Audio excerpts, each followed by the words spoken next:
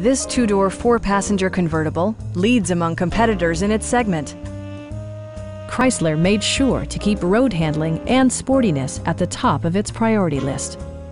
It features an automatic transmission, front-wheel drive, and a refined six-cylinder engine.